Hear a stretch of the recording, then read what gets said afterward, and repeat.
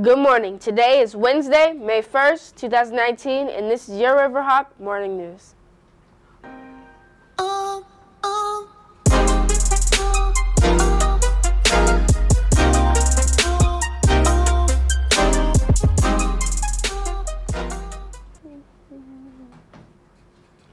Character trait for the month of May is citizenship. To be a good citizen is to take care of yourself. Follow and respect the rules of your community. Do your part in taking care of the environment and volunteer in community organizations. Churros will be sold at both lunches for $1. There will be no Riverhawk ticket or hot ticket rewards this week. Make sure you are getting your SBAC testing passport stamped. Be there and be on time.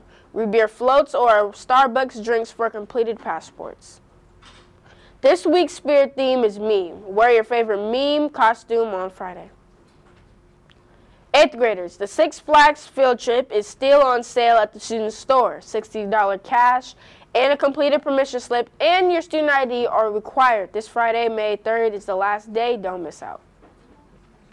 Seventh graders, the bowling field trip is also on sale. $35 with the completed permission slip and your student ID required as well. The last day to purchase the field trip is Friday, May 17th.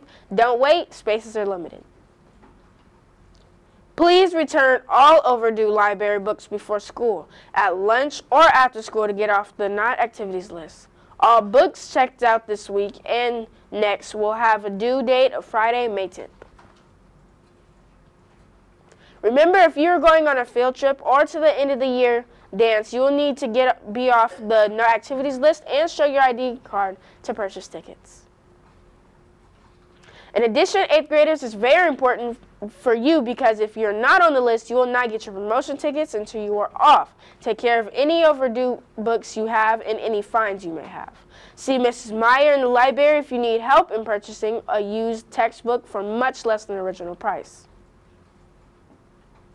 Hey, seventh graders, have you turned in your application for summer school yet?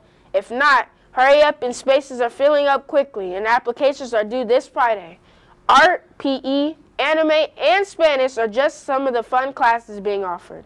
Check with Mrs. Red Manning if you have any questions. This concludes our Riverhawk Morning News. Have a great day and remember to be safe, be respectful, and be responsible.